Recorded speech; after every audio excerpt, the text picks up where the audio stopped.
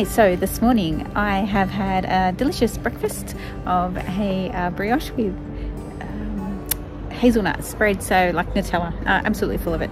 Um, and I was lucky not to get it all over myself.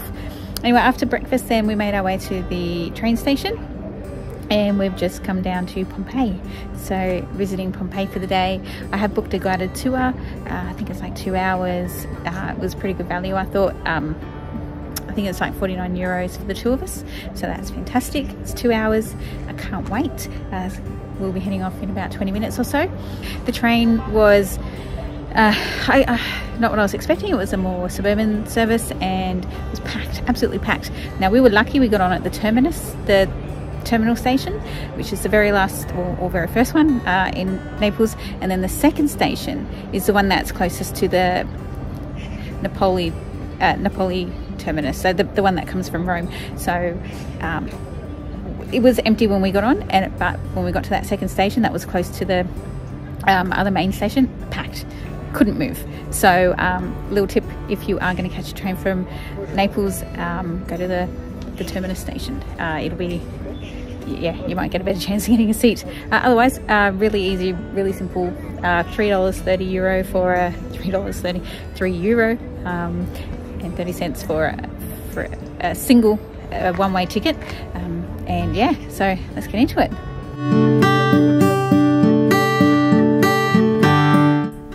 The meeting point for this particular tour company is directly above the train station building. So you go there and you show them the ticket that you've bought online, and they will exchange that for a physical ticket to enter Pompeii Archaeological Park. However, they will not give you the child ticket. What you need to do is before you go into the park, uh, you need to go to the ticket office and you uh, show them your documents, so your passport, and they will then give you a free child ticket. So children under 18 are free to enter.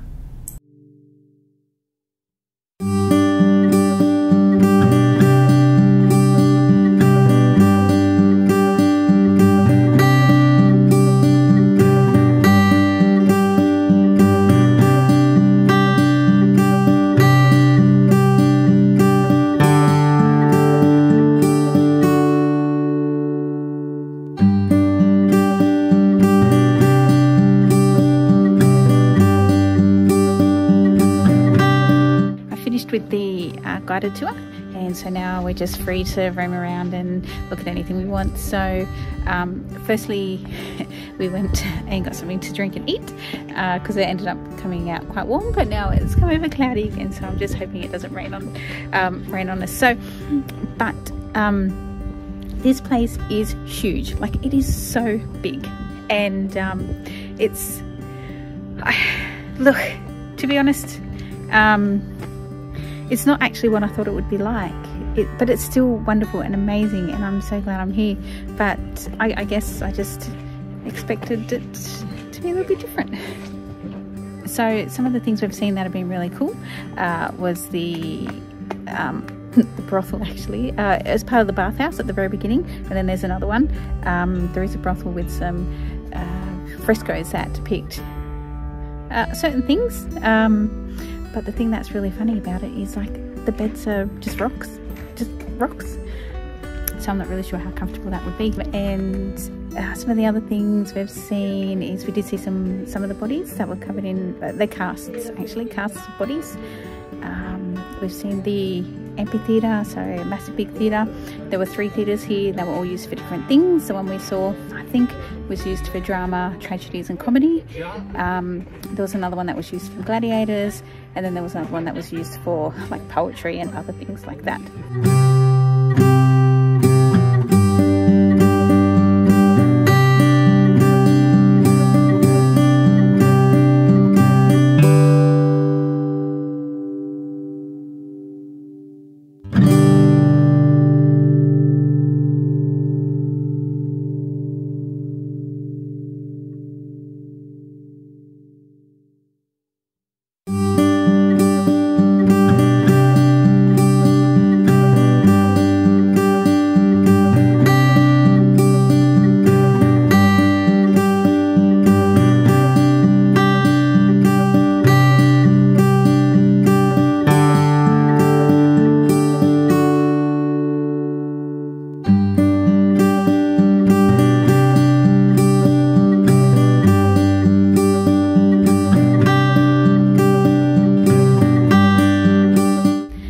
In um, include just some beautiful frescoes uh, that have been beautifully preserved and um, it just yeah it's it's it's hard to imagine how old all the things are that are here.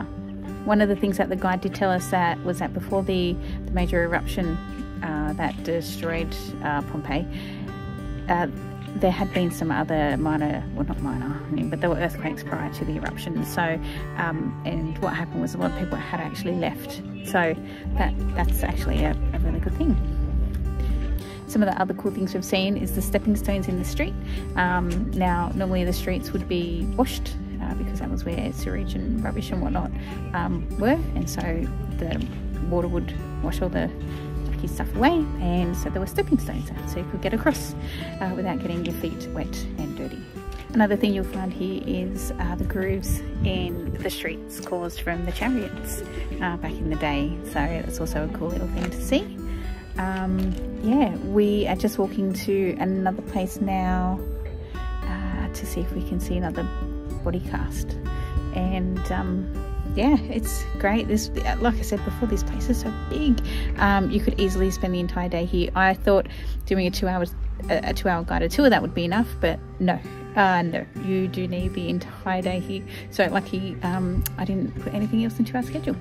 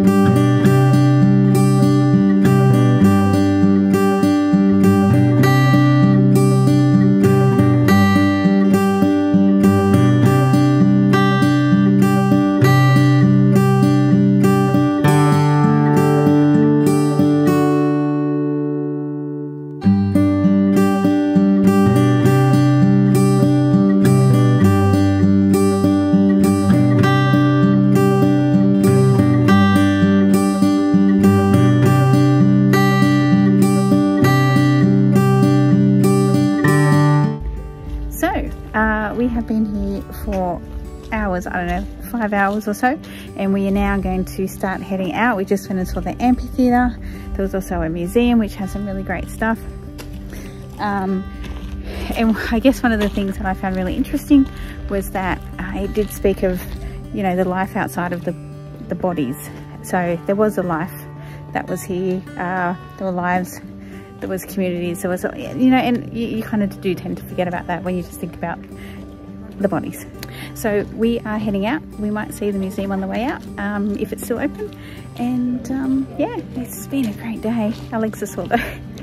so we are making our way back towards the entrance. Uh, there is meant to be a, a, museum out there, which we'll see if it's still open by the time we get there. If not, that's okay. Um, we've seen so much today. Um, and then we'll probably just catch the train back to Naples and uh, maybe try and find somewhere yummy to have some dinner. So there is the um, museum and it is closed. It closes at four, the last last entrance at four, so that's okay, we've missed that.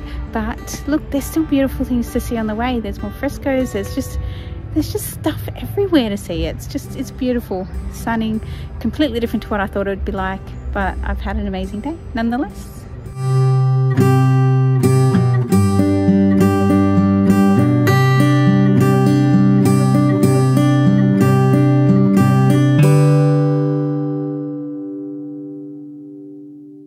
So we are finally back. Uh, the train back from Pompeii was packed. Um, as you probably would expect it. It is New Year's Eve, so uh, very excited that we are traveling on New Year's Eve.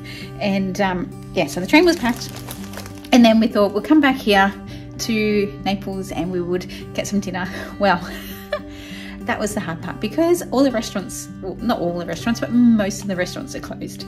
So we did find a little uh, Indian uh, Indian restaurant down a, a an alley somewhere and uh, we both had a biryani rice and it was it was delicious. It was really good.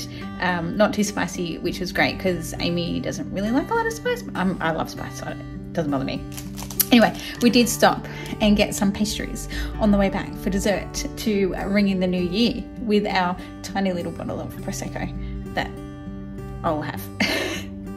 She's mine. And these are the gorgeous um, pastries that we, we picked up. So, and you know, and the thing about them, they were only uh, one euro each. So there was a minimum six, and I thought to myself, oh my goodness, how much is this going to cost me? And when she said six euro, I thought she made a mistake. So um, no, I can't wait to get stuck into these. These look so good. Um, and really, that's that's it for today. Uh, Pompeii was huge. I really didn't anticipate it being so big. When I booked, uh, I booked a, a guided tour. It was for two hours and I literally thought that was all I needed. Um, so obviously I didn't research enough. And because um, if I had I would have known that. I would have known how big it was. Um, oh and the other thing too oh my goodness. So we when we got back to Naples and we walked out of the the train station someone let off um, a whole bunch of uh, fireworks. And it was like a little private fireworks show uh, which was super cool. Uh, anyway that is it for actually that's it for 2023 um, what a year it's been. I've been on some absolutely incredible adventures. I think I've visited six, six countries, five, six. I went to Bahrain, uh, Kuwait, Oman, uh, Uzbekistan, Georgia, yep, and now Italy. So six countries in one year. I cannot believe, uh, never in my wildest dreams did I think I'd ever be able to do this. So it's absolutely incredible. And um, yeah, I'm thankful every day that I get this opportunity. Happy New Year, everyone. And here's to a great 2024.